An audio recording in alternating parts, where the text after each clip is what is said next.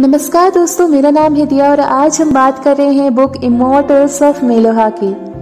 इस उपन्यास की कहानी भगवान शिव के जीवन से प्रेरित है, लेकिन इसमें उन्हें एक सामान्य आदमी के रूप में दिखाया गया है। सारी घटनाएँ आदि काल्पनिक है।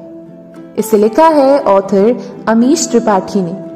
बहुत समय पहले जब राम राजा हुआ करते थे तो उन्होंने मेलुहा नाम का राज्य बसाया। यह जम्मू कश्मीर हिमाचल, पंजाब, हरियाणा, राजस्थान तक फैला हुआ था। राम के बाद बहुत सी पीढ़ियाँ आती गईं और मौजूदा समय में दक्ष नाम के वंशज अमेलुहा के राजा थे। दक्ष एक सूर्यवंशी राजा थे और उनकी सती नाम की एक बेटी भी थी। इस समय मेलुहा राज्य पर संकट आ गया था। उनकी सरस्वती नाम की नदी धीरे धीरे सूख रही थी। अभी वे लोग इस संकट से उभरने का प्रयास कर ही रहे थे कि उन्हें खबर मिलती है कि चंद्रवंशी राजा ने उन पर हमला कर दिया है। चंद्रवंशी साम्राज्य उत्तर प्रदेश से लेकर पश्चिम बंगाल तक फैला हुआ था। चंद्रवंशी राजा ने अब नागा नाम की ट्राइब के लोगों को अपने साथ मिला लिया था, जो बहुत ही खतरनाक होते थे और उन्हें तरह तरह की शारीरिक व्याधियाँ भी हो रखी थी। उनसे निपटने के लिए राजा दक्ष अपने दूत को संदेश देकर तिब्बत भेजते हैं। दूत वहाँ गुना ट्राइब के मुखिया से मिलता है, जिसका नाम शिवा था। दूत राजा का संदेश शिवा को देता है। राजा दक्ष ने शिवा से आग्रह किया कि वह अपने लोगों के साथ सूर्यवंशियों की मदद करने के लिए मेलोहा आए। शिवा इसके लिए तैयार हो जाते हैं। वे अपने दोस्तों वीरभद्र, कृतिका, नंदी व अन्य लोगों के साथ मेलोहा के लिए चल पड़ते हैं। सबसे पहले वे श्रीनगर शहर में पहुँचते हैं। वहाँ उन्हें आयुर्वती नाम की महिला मिलती है जो मेलुहा के लोगों की प्रमुख चिकित्सक होती है। वही उन सबका स्वागत करती है। शिवा और उसके साथी मेलुहा की भव्यता देखकर दंग रह जाते हैं। जब रात को सब लोग सो जाते हैं तो अचानक सबको तेज बुखार जकड़ लेता है। आयुर्वती उन सबका उपचार करती है, लेकिन वह देखती है कि शिवा को कोई बुखार नहीं हुआ। लेकिन उनका गला नीला पड़ गया है। यह देखकर आयुर्वती को लगता है कि शायद शिवा ही नीलकंठ हैं। वह शिवा को बताती है कि बहुत पहले एक भविष्यवाणी हुई थी जिसके अनुसार एक दिन नीलकंठ मेलुहा आएँगे और यहाँ के लोगों की रक्षा करेंगे। जब मेलुहा के लोग शिव के नीले गले को देखते हैं तो खुशी से उन, उन्हें नीलकंठ घोषित कर देते हैं। फिर वे उन्हें मेलुहा की राजधानी देवगिरेर ले जाते हैं। सब लोग वहाँ राजा दक्ष से मिलते हैं और उनके किले में रहने लगते हैं। एक दिन शिवा पास की पहाड़ी पर घूमने जाते हैं। वहाँ मंदिर में उन्हें एक बेहद सुंदर लड़की दिखती है। वे पहली ही नज़र में उसके प्यार में पड़ जाते हैं। वे नंदी से उस लड़की के बारे में पता करने के लिए कहते हैं। नंदी पता करके बताते हैं कि वह राजा दक्ष की बेटी सती है, लेकिन वह एक विक्रम लड़की है। यानी उसके पुराने जन्म के पापों के कारण उसे अछूत माना जाता था। इसलिए उसकी शादी भी नहीं हो सकती थी। शिवा सती से बात करने की कोशिश करते हैं, लेकिन वह उन्हें अपने पास आने से मना कर देती है। शिवा मन ही मन फैसला कर लेते हैं कि उससे शादी करके ही रहेंगे। इसके बाद दक्ष शिवा की चंद्रवंशियों द्वारा किए जा रहे छल कपट वाले युद्ध के बारे में बताते हैं। वे शिवा को अपने इन्वेंटर बृहस्पति से भी मिलवाते हैं। एक दिन बृहस्पति उन सबको माउंट मंदार मंदार पर्वत लेकर जाते हैं और वहाँ दिखाते हैं कि किस तरह से सोमरस बनाया जाता है। सोमरस की वजह से मेलुहा के लोग कई सालों तक स्वस्थ और जीवित रहते थे।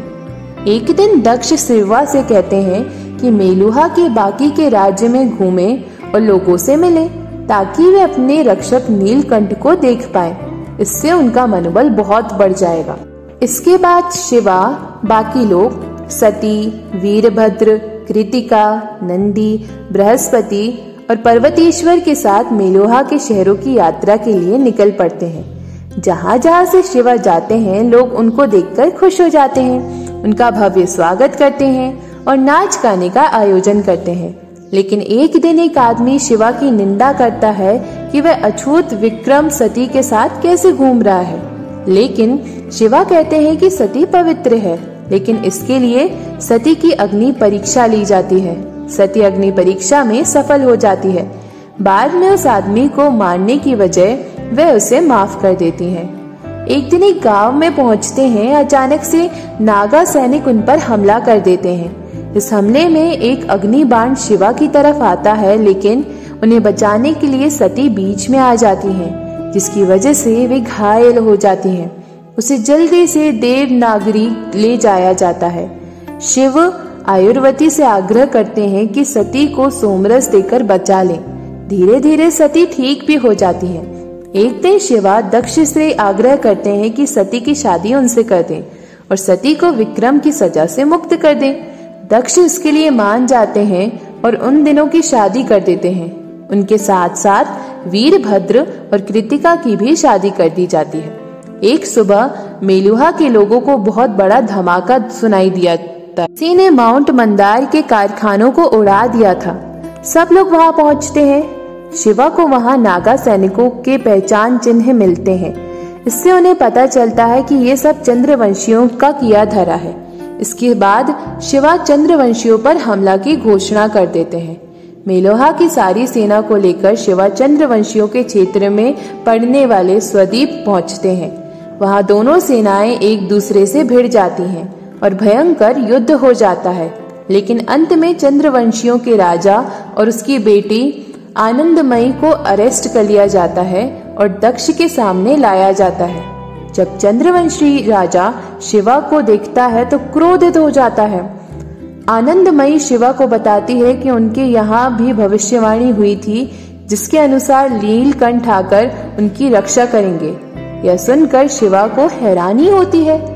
इसके बाद चंद्रवंशी राजा और उसकी बेटी को जेल में डाल दिया जाता है।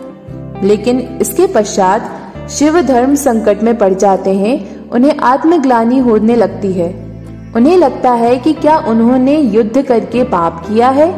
क्या उन्होंने चंद्रवंशियों की रक्षा करनी चाहिए थी? इस सबसे वे काफ़ी परेशान हो जाते हैं।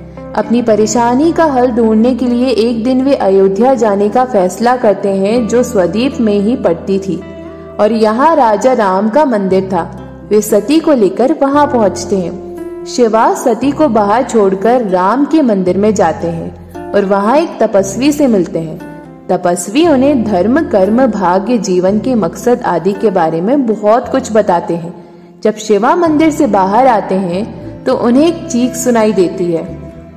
वे देखते हैं कि एक नागा सैनिक ने सती को पकड़ लिया था और वह उसे मारने ही वाला था। इतने में शिवा सती को बचा लेते हैं। इस ऑडियो बुक के लिए इतना ही। अगर आपको ऑडियो बुक अच्छी लगी तो आप मुझे कमेंट्स में बताइए और अगर इसमें कुछ त्रुटि महसूस हुई तो भी आप मुझे कमेंट्स में बता सकते हैं। और ऐसी ऑडियो बुक सुनने के लिए सब्सक्राइब ज़रूर करें।